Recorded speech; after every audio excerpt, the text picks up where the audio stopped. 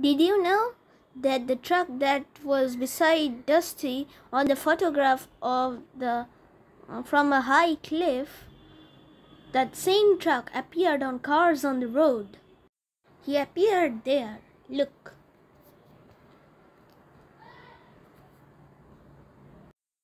Did you know that on Cars on the Road, Smokey appeared twice on the trucks episode?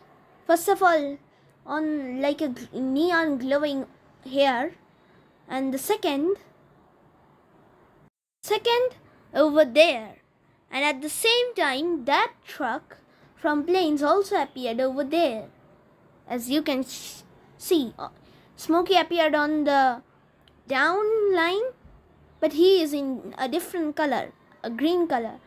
And the truck from the planes appeared over there in that color only. He didn't change the color. He was on the rainbow road.